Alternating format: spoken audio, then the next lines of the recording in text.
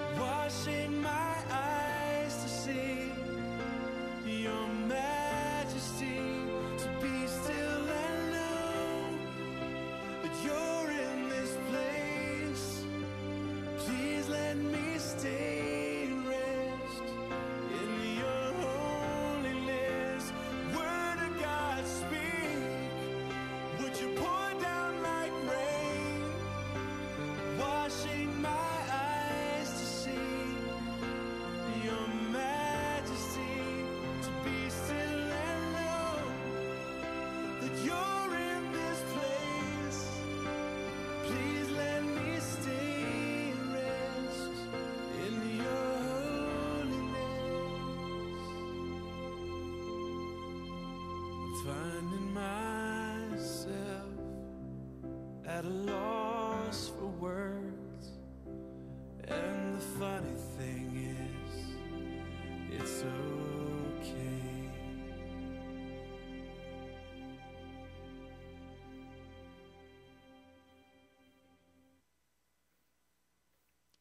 Word of God, speak.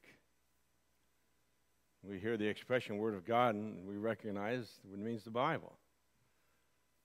And can the Bible speak, literally speak? We see Hebrews 4:12 For the word of God is living and powerful and sharper than any two-edged sword, piercing even the division of soul and spirit and joints and marrow, and is the discerner of the thoughts and the heart and the intents of the heart. Living Scripture can indeed speak to you. As the Word of God discerns your thoughts and hearts, it will shape your life in godliness if you allow it. Word of God speak. It's an amazing thing to think that the very creator of the universe would actually speak to you personally. That's staggering. And perhaps the most startling proclamation of the Bible is that God will indeed do just that speak to you, lead you, guides you. I mean, what a wonder that is when in reality. We should never walk in casualness about that. Word of God speak. Of course, it means the Bible, but the Word of God also refers, we know, to Jesus. The Word of God is Jesus. John 1:14, and the Word became flesh and dwelt among us. And we beheld his glory, the glory of the only begotten of the Father, full of grace and truth. One day, Jesus was uh, in the temple and surrounded by a bunch of non believing Jews. One day, Jesus made a proclamation to those that believed. And he said this in John 10 27 My sheep hear my voice. I know them and they follow me. Word of God speak. Mercy me, me, Mercy Me sings, The last thing I need is to be heard, but to hear what you would say. To be still and know that you're in this place. Please let me stay and rest in your holiness. Word of God speak. In 2001, the band Mercy Me, Christian band Mercy Me, exploded into popularity with their hit song, I Can Only Imagine. They actually made a movie about it. We saw it, it was really a pretty good movie. And with that hit song came endless concerts and touring and, and just this explosion and the expectations to produce another album. And touring and working on this album at the same time began to take a toll. Bart Millard of the Mercy Me speaks of this time. He speaks of his exhaustion and his frustration.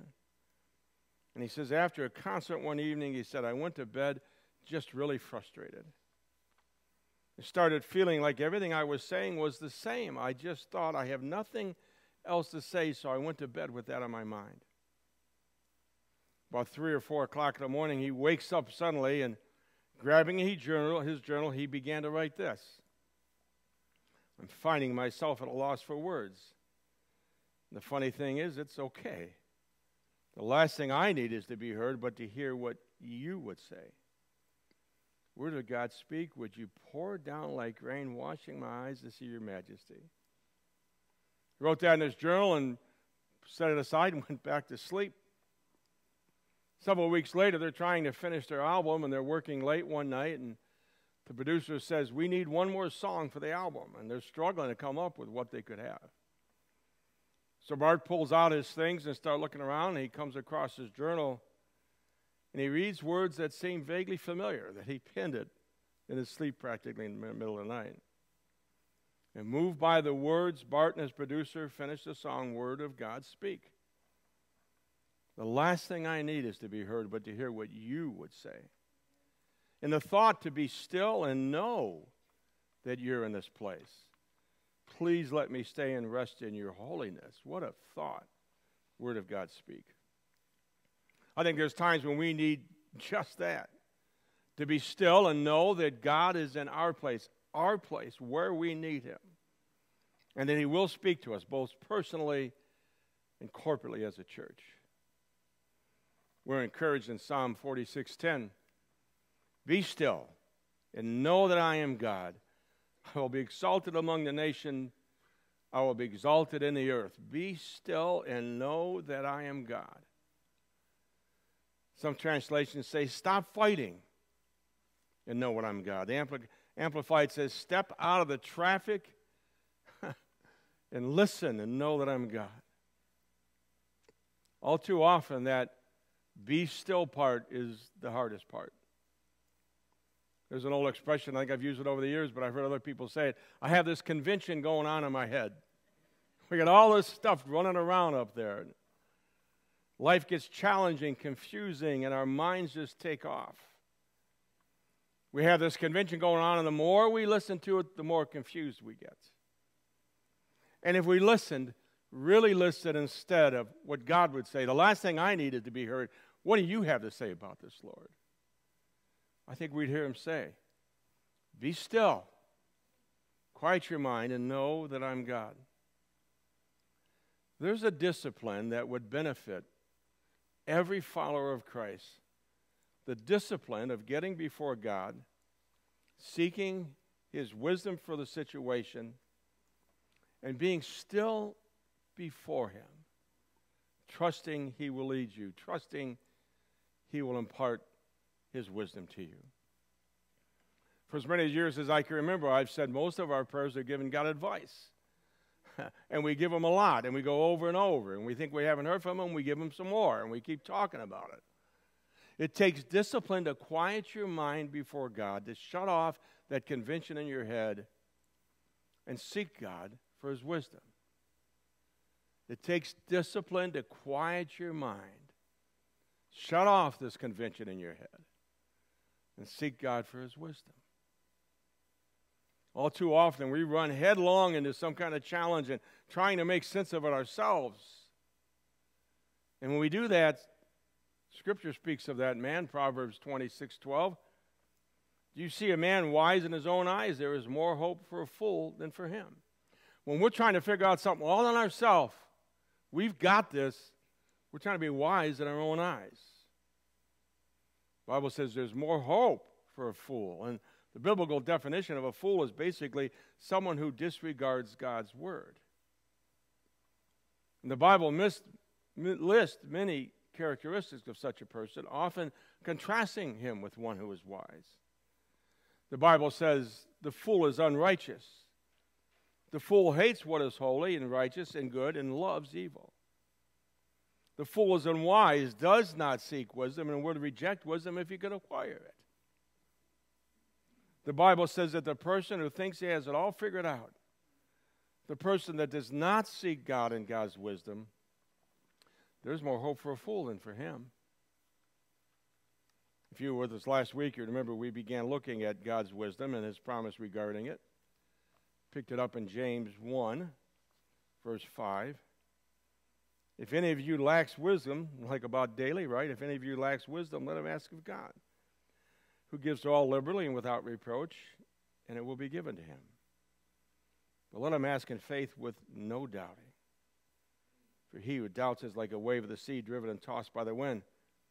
For not, let not that man suppose he'll receive anything from the Lord. He is a double minded man, unstable in all his ways. We looked at that last week. We saw that God's wisdom is indeed available to us, but we need to trust Him for it without doubting. And there again is that struggle. And Scripture says that the doubter is tossed back and forth, up and down, and becomes unstable. And that word unstable is really quite a word. I mean, it's unstable, untwisted, and confused in all his ways, and becomes confused. We've called it a seasick Christian. We also saw that Scripture clarifies the difference between earthly wisdom, our own mind, our own thinking, and at times demonic wisdom, and godly wisdom. James 3:13. Who is wise and understanding among you, let him show by good conduct that his works are done in the meekness of wisdom.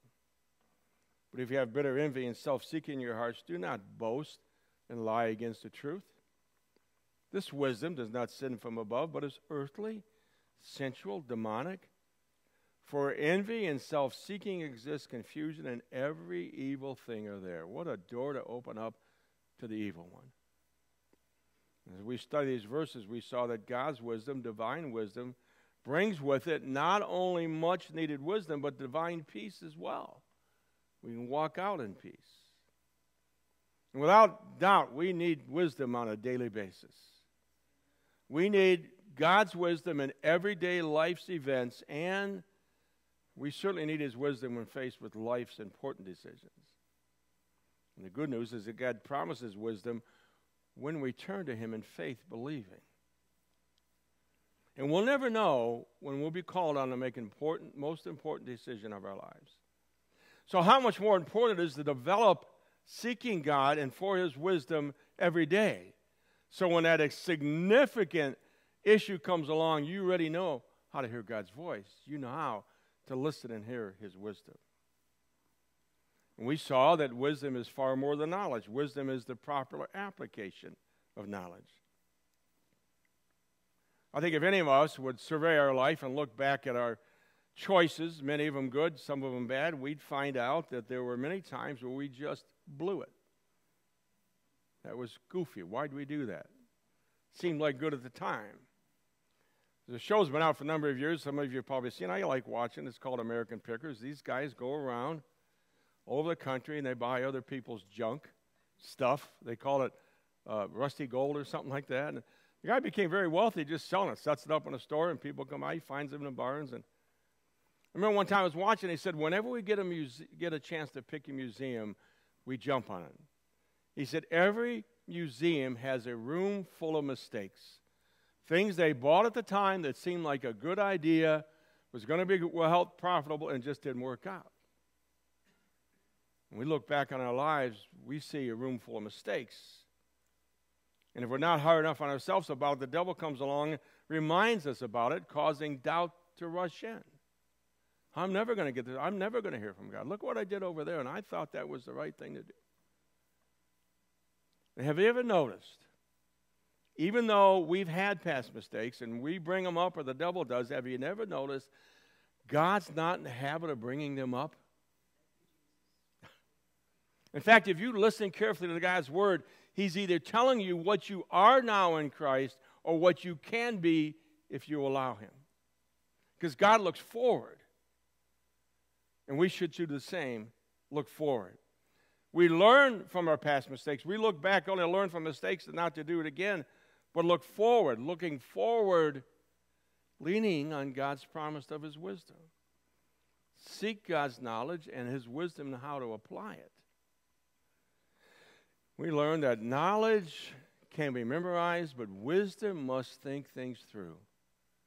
Wisdom enable us to use knowledge correctly. We can just memorize knowledge, but wisdom, we've got to think about it. And the Bible informs us a great place to start. Proverbs 1 7. The fear of the Lord is the beginning of knowledge, but fools, fools despise wisdom and instruction. There's that fool again. Despising wisdom and instruction. Don't tell me what to do. I know better than anybody else. And the fear of God here can be understood as a holy reverence. Over the years, I've studied the fear of God. It's actually a fascinating study. I mean, there's, there's a fear and trembling of who God is. And even as a believer, I have a fear of walking away from Him. And, but it's also understood of a holy reverence of who He is, not this super casual attitude. It's the fool, the unwise, who has no fear of God. Those who behave as they choose to do so without any consideration of God, who He is, and what He desires. And for the believer, there's a tension, if you will. The Bible says, Fear not, be at peace. We've been, not been given a spirit of fear, and yet commands us to fear God. Wait a minute. Fear not, you've not been given a spirit of fear, be at peace, but fear God. There's a tension. And I, I, I think I have a key to understanding that, under, that whole thing there. To not fear someone or something is to say you're equal to it or better than it. I'm not afraid of him or her or that or this because I, I, can handle it. I'm never going to be equal to or better than God, not remotely. And, and fear of the Lord is recognizing his awesome majesty, his sovereignty. And the Bible says that when you begin to do that, it's the beginning of knowledge. It's just the starting point. The starting point of where He wants to take you. Proverbs 2 1 following, My son, if you receive my words and treasure my commands within you, so that you incline your ear to wisdom and apply your heart to understandings, yes, if you cry out for discernment and lift up your voice for understanding, if you seek her as silver and search for her as hidden treasures, then you will understand the fear of the Lord and find the knowledge of God, for the Lord gives wisdom from his mouth come knowledge and understanding. I hope you notice a process here. First, you seek after, you hunger for God's wisdom, for his discernment, for his understanding. And then in the process, you begin to understand the fear of the Lord. Maybe because you begin to see how wise He is and majestic He is. And the Bible says you begin to understand the fear of the Lord. And it also says you find the knowledge of God. What kind of knowledge has God got? You might be able to acquire, just as an illustration, please, all the knowledge I have. That won't get you real far, to be honest about it. But what if you had God's knowledge? Wow. The Bible says you can find the knowledge of God. And verse 6 is a fundamental key in you growing God's wisdom. It says, For the Lord gives wisdom.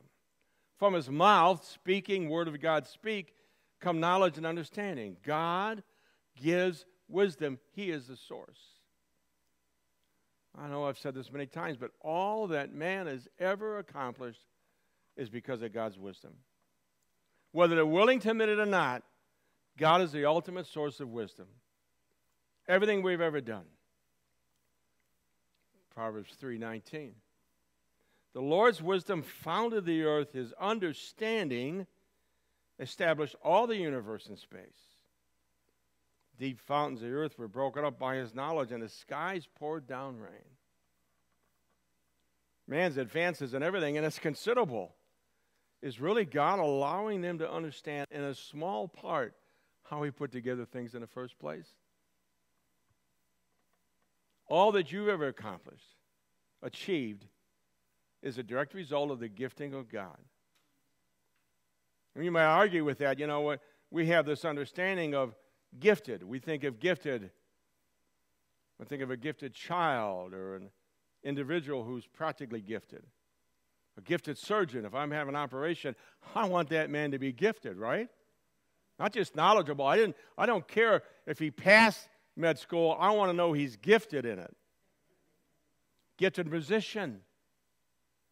Perhaps somebody that's gifted worth getting their hands. And, you know, the Bible, the Old Testament makes it called out. The Old Testament called out specific, specific gifts. I just talk about that word every time.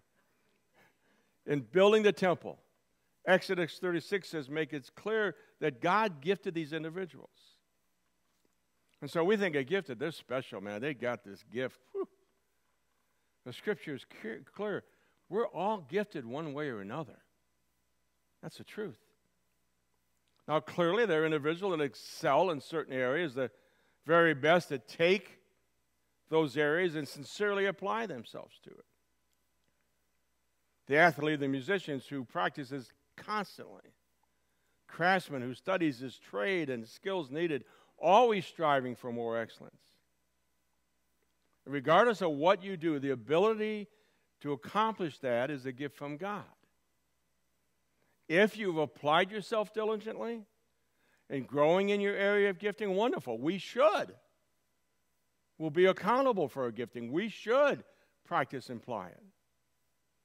But that doesn't change the fact that the ability is a gift from God, your creator. Not to acknowledge that is pride or arrogance, acknowledging God as your source of all is wisdom, the beginning of wisdom. And the pursuit, the pursuit of God's wisdom is a very good thing. There's a strong encouragement in Proverbs for us to pursue God's wisdom. Proverbs 4, 5, and 6. Get wisdom, get understanding. Do not forget my words or swear from them. Do not forsake wisdom, and she will protect you. Love her, and she'll watch over you. Proverbs 8:11 For wisdom is better than rubies and all the things one may desire cannot be compared with her. Proverbs 8:12 and following I wisdom dwell together with prudence. I possess knowledge and discretion. The fear the Lord is to hate evil. I hate pride and arrogance and evil behavior and perverse speech. Counsel and sound judgment are mine. I have understanding and power. Verse 13 says, Wisdom hates the same things God hates, if you will. Wisdom will drive you towards God's ultimate plan and God's ultimate will for your life. We saw in Proverbs 1 that the fear of the Lord is the beginning of knowledge. We said that knowledge, knowing, is one thing, but wisdom is the understanding, the application of that knowledge. Now, are you ready to get happy? Pay attention. This is important. Proverbs 9:10.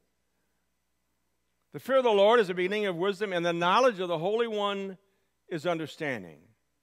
First, the fear of the Lord is the beginning of knowledge, and now the fear of the Lord is the beginning of wisdom. But wait, there's more. but wait, there's even more. Did you catch the latter part of that verse?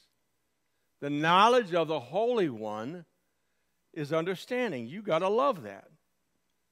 Allow that to sink in for a minute. Knowledge of the Holy One. Do you understand what a privilege and honor that is? How many people are totally confused by God? How many people completely misunderstand God because they have no knowledge of Him? Many years back, we had a family in the church at the time when actually they weren't in the church, but the wife came one day and got saved. God really moved on her heart. Their family had lived in dysfunction for years. Father drank real heavy, he was gone a lot, truck driver. She got him to come to church. The kids had problems. They came in for counseling and they were doing really well. He accepted the Lord and started turning his life around. I mean, the family was doing better than they ever had done in years. Several months later, he found out he had to have open heart surgery. He got mad at God. All these years I did what I want to do. Now I'm trying to serve God and he gives me open heart surgery. He had no knowledge of God. No matter what I said to him, he was mad. He went in the hospital to have the operation. I went there to meet them and be with them, and, and uh, while just before I got there, I guess while he was waiting, you know, you get ready, get prepped, he got up, put his clothes on, and left. He's so mad about this. His wife talked to him to come back. He came back, had the operation. He stayed mad at God. He was mad, mad, no knowledge of the Holy One. A year later, he was dead. He had a chance for a new life, but he blamed God for everything wrong in his life. A couple years after that, his son killed himself. I mean, it's a tragic thing. Do you understand what a privilege it is to have the knowledge of the Holy One? At least some of it. The word says you can have the knowledge of the Holy One. Proverbs 9:10, the fear of the Lord is the beginning of wisdom, and the knowledge of the Holy One is understanding. To know and understand the holiness, character, and power of God. New Living Testament says knowledge of the Holy One results in good judgment. Living Bible says knowing God results in every other kind of understanding. And Jesus said this, John 17, 3. Now, this is eternal life. You want to know what eternal life is? That they may know you, the only true God, and Jesus Christ, whom you've sent. That's what eternal life is to know God. But not when we get to heaven someday. Yes, more so then, but now. The only possible, this is only possible, we know, through the salvation of Jesus Christ. And once saved, you have the opportunity to develop a deep reverence for God and His holiness. Once you're saved, you have an opportunity to develop a reverence for God and God's holiness. The fear of the Lord is the beginning of knowledge, the beginning of wisdom. As I've said, beginning only means you can grow from there. The knowledge of God, the beginning of knowing Him, you can grow in more knowing Him. In Proverbs chapter 2 becomes a prescription then for God's wisdom. My son, if you receive my words and treasure my commands within you, so that you incline your ear to wisdom and apply your heart to understanding, yes, if you cry out for discernment, lift up your voice, that's prayer, for understanding, if you seek her as silver and search for her as hidden treasures, then you'll understand the fear of the Lord and and find the knowledge of God to receive God's word, treasure, hide his commandments within you, incline your ear. You listen, you seek wisdom, you apply your heart to understanding. Lord, I want to I don't want just head knowledge, I want to understand. To cry out for discernment to understand becomes a process to living in God's wisdom.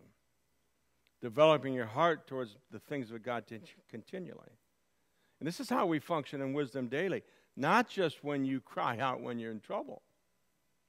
I am very proficient at crying out when there's trouble. I've got that part down. The Bible says we should cry out for discernment, to lift our voices to, Lord, I need to understand. Thank you. You promised me wisdom, and you promised me understanding, and you promised me knowledge of the Holy One because I'm running after you. What a promise. And this developing wisdom keeps us out of a lot of trouble, doesn't it? And Proverbs continues on here. Verse 6 For the Lord gives wisdom. From his mouth come knowledge and understanding. He stores up sound wisdom for the upright. My goodness, he stores up sound wisdom for the upright. He is a shield to those who walk uprightly. He guards the path of justice, preserves the way of his saints. Then you will understand righteousness and justice, equity, and every good path. When wisdom enters your heart and knowledge is pleasant to your soul, discretion will preserve you, understanding will keep you, to deliver you from the way of evil, from the man who speaks perverse things I think we should pursue God's wisdom, don't you? And I'm so thankful that last week he said, if you want wisdom, ask, cry out for it. Just don't doubt that I'll give it to you. And you'll no longer be unstable in all your ways. You'll be walking in knowledge and understanding and wisdom and knowledge of the Holy One. When you got knowledge of the Holy One, it helps your decisions. It makes, them, makes your decision making so much easier because you know you've heard from God. What, what a promise. What a promise to the believer in Jesus Christ. The pursuit of God's wisdom. I'd like to invite the worship team come forward. You know, don't check out because on a daily basis we are surrounded with the world's view of what is acceptable, the world's view what is wise. The perverse ways of the world will erode your heart towards God and undermine godly wisdom in your life. Let's purpose to seek God first and walk in the promises of wisdom. Once again, if any of you lacks wisdom out of James 1, let him ask of God. He'll give it to you liberally, and he won't reproach, won't, won't beat you up for it. Let him ask in faith, but don't doubt. Because when you doubt, you're like a wave of the sea driven, tossed, and thrown around like the wind. Last week we spoke of the tragedy of doubt. Not seeking God's wisdom, doubting He will give it to you. I said, what a tragedy. What would your life be different without the tragedy of doubt? How different would your life be now if you pursued God's wisdom daily? How many miracles have we missed? How much of God's presence have we missed out on because we doubted God? Word of God, speak. Would you pour down like rain, washing my eyes to see your majesty? To be still and know that you're in this place. Let me stay, please, and rest in your holiness. And Lord, speak to me. If you need wisdom, ask Him now. As we stand and worship God, begin your quest to pursue wisdom, not just now, but every day. So let's stand together this morning and worship our God and seek Him for everything you need in your life. Let's stand and worship Him this morning.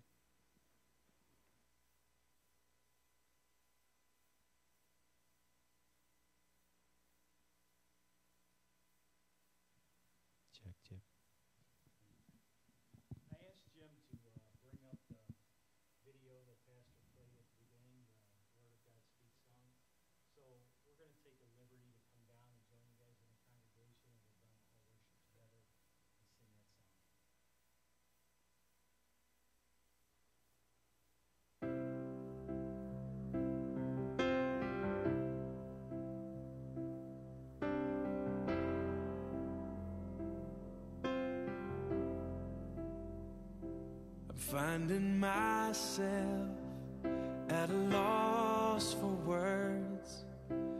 And the funny thing is, it's okay. The last thing I need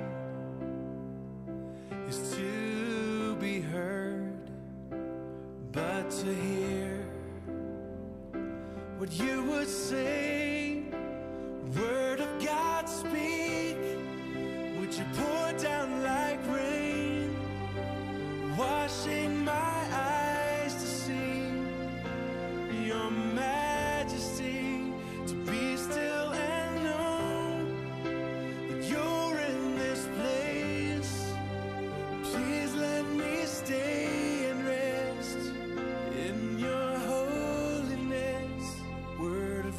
Speak.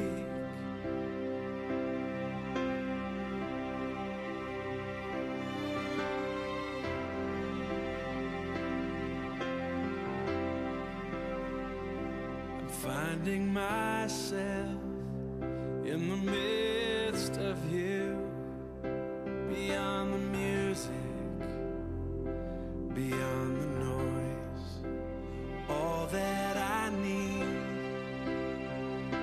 to be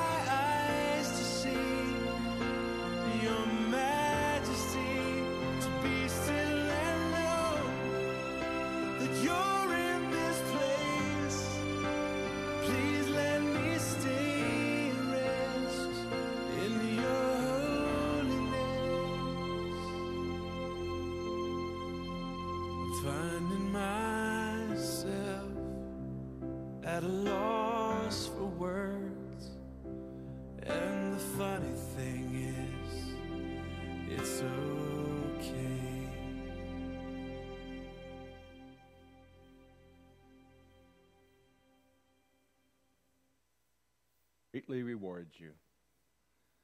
Father, thank you so much that uh, your word cries out to seek you for wisdom. As we cry out to you, you cry out, Seek me, know me. This is eternal life to know the Father, to know the Son. Thank you so much, Lord, that we can walk in that. And Holy Spirit, deep within our hearts, draw us to hunger for wisdom, to search out even more than anything else in this life God's presence, God's holiness, God's wisdom, God's discernment, God's understanding. Thank you that it's available to us and we can walk in it every day. Thank you, Father, as your people go, that your angels encamp about them, protect them, keep them, watch over them. Thank you for a tremendous provision in their households, but in their hearts, a hunger for you. In Jesus' name, amen. Have a blessed week. If you need prayer for anything, feel free to come forward. I'll be glad to pray with you. Have a blessed, blessed week.